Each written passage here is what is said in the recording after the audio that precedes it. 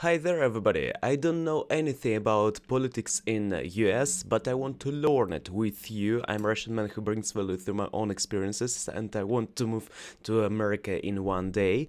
And let's uh, do this together, uh, let's learn about politics uh, by video made by Vox. It is channel called this name and uh, maybe it will be interesting. It, it called uh, America's Presidential Primaries Explained. Only what I know, uh, what I know about uh, American elections that it will be on 3rd November and maybe will be Trump there and one more man who said something about Despacito. I I read it uh, on the Guardian page, and that's all. Let's let's look at this. Maybe it will be good to learn, and I will comment sometimes what I understood and what I didn't. Let's go. In December of 2007, a U.S. Senator named Barack Obama was running for president. It didn't look like he would beat the well known frontrunner, Hillary Clinton. Hmm, okay. We have uh, we had two politics like uh, Obama, Barack, and uh, Clinton, and they were at uh, 2007, 2008. Okay. She was nearly 20 points ahead of him in the national polls. But then, one month later, a huge, huge victory. Obama won the Iowa caucus. The Iowa caucus is like an election, but instead of voting in a voting booth, you stand with other people to be counted. It's weird. But what?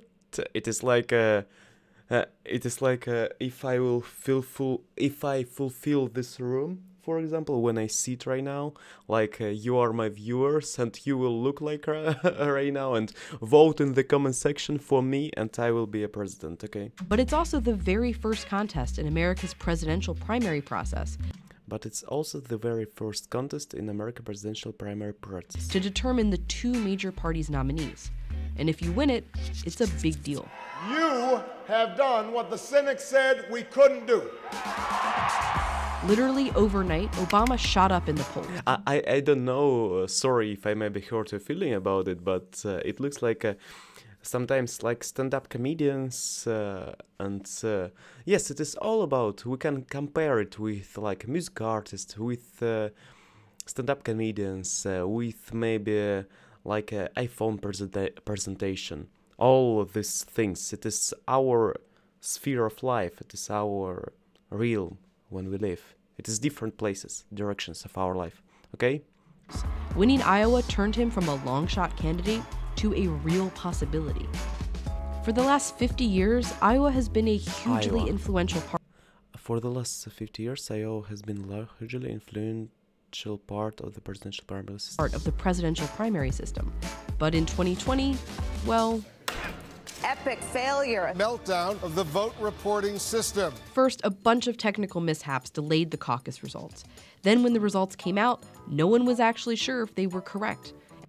Inconsistencies in the reporting of three sets of results. Okay, and uh, it is uh, something went shitty, yes? And it started to raise questions about whether the Iowa caucus deserves to be caucus. so important. Cactus. Uh, it sounds like uh, we have a specific flower in um, in Russia called cactus, and it is cactus. Iowa cactus. The way America's political parties choose their presidential nominees, starting in Iowa and then with 63 other elections on 21 separate days. Starting in Iowa and then with uh, okay. was kind of set up quickly and without any real thought behind the order. So, why do we choose presidents this way? Ah, I understood. It is kind of uh, processes that we have in different uh, in different states, yes? And is there a better way to do it? To understand how we do things now, you have to go back about 50 years. As recently as the 60s, only a few states even held primaries held primaries. What is primaries? Primaries primaries is like a prima donna, like uh, when you're in first place. Presidential primaries. I googled it before, like what is primaries, but uh, it said to me that it is in the US a, pri a pri preliminary election to appoint delegates to a party. Ah, primaries it is like a pre-election, yes? Most states didn't. and party leaders would just pick the presidential nominee at the convention. Voters were much more divorced from the process than they are today. This is Li. She's been covering the 2020 primaries for Vox. At that time, the people in charge were effectively picking the people that would stay in charge. Which mostly worked fine until 1968. Why is, why are so big amount of people so like uh, emotional in this uh, type of things? It it looks like football match. In the few primaries that year, young Democrats voted in big numbers for candidates who were against the Vietnam War. But at the convention, the party delegates instead chose the pro war vice president, who wasn't even on the ballot in the few states that actually held primary. Primary ballot. What is ballot? It did not go over well. Now the gas is being spread, it's coming this way, and it's awful. There was huge pushback to that. The protests were incredibly effective and actually ended up in the changes that we see now. It looks like uh, time goes on a cycle. Like we're cycling all around, circling, circling. And uh, everything happens every day. And it was on 1968, almost uh, 52 years ago. And uh, ago, yes, and it happened again. Protests again. Effective and actually ended up in the changes that we see. What now. changed was the Democratic Party decided to let voters pick the nominee, with elections in each state. Republicans soon followed suit. Ah, it is uh, always uh, the same thing, like uh, Republicans and Democrats. Today, the delegates from each state still officially vote on the nominee. Today, the delegates from each state still officially vote on the nominee at the convention, Arizona delivers 58 bound votes. but they have to vote according to how the candidates did in their state primaries. To win the nomination, a candidate needs a majority of all the delegates. And big states with big populations, like Florida, have lots of delegates for the taking. Small states like Iowa have just a few. Iowa. But even though it's not a Again? small states like Iowa have just a few. Hmm, mm-hmm. But even though it's not a delegate powerhouse, in the sequential primary system, Iowa has a crucial job, as do other small states that vote early in the process. Let's look at the 2016 Republican primary as an example. Republican primary. It is like a who will be from uh, Republican uh, party, yes? When the Iowa caucus kicked things off, there were 12 serious candidates on the ballot. After Iowa, three immediately dropped out. And Ah, each, every section, somebody will be kicked. And it is like a TV series of Lost or like a who will be last on the island. after the New Hampshire primary a week later, three more dropped out. This is what those early states are there to do. The early states end up winnowing the field to a slate of what people might consider frontrunners. They help candidates generate hype, press coverage, additional donations.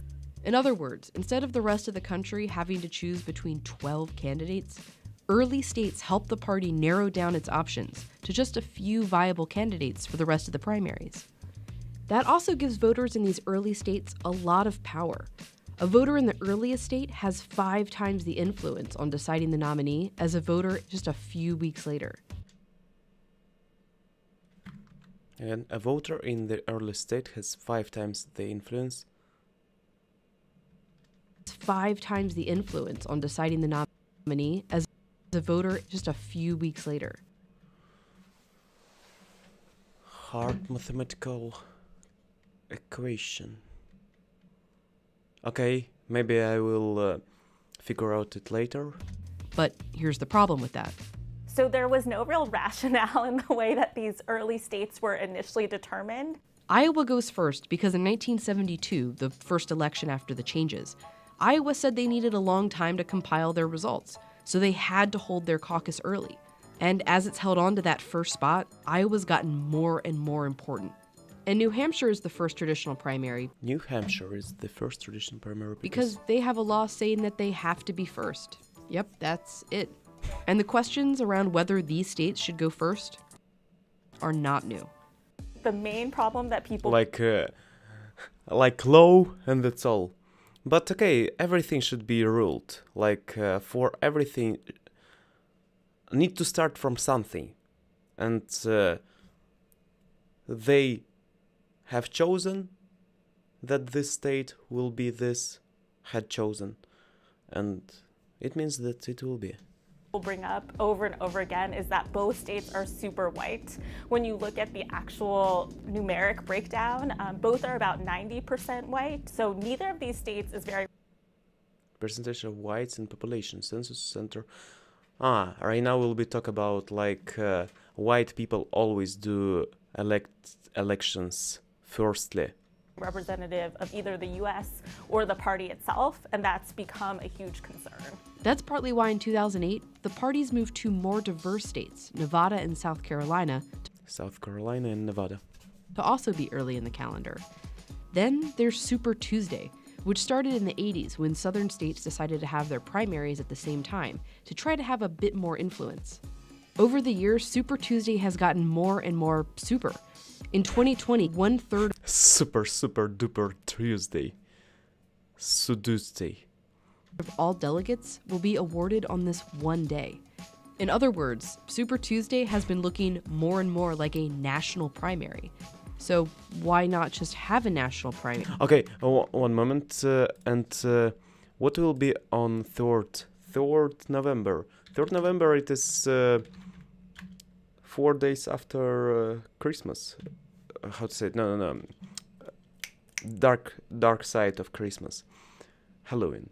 November. What is it? day. Third November. It is Tuesday too. Wow. Hmm, interesting. every Tuesday, yes, will be our elections. Mary. Every four years or what? And have everyone vote on the same day. The answer has to do with who would probably win. If there was a national primary today, whoever is, has the most money as well as the most name recognition would probably do the best because they're able to reach people and they already have an established backing in place. Think about that in terms of the 2020 primary. If everyone voted on one day, and money and name recognition mattered the most? Bloomberg steers Sanders, uh, Bloomberg Sanders, Biden. Oh, Biden, I know him. It is like uh, one person who will be elected, maybe. And money and name recognition This matter. is who would probably come out on top. Remember that poll from December 2007? If everyone voted at once, Obama would have lost. Which brings us back to Iowa and New Hampshire. yes, I understood.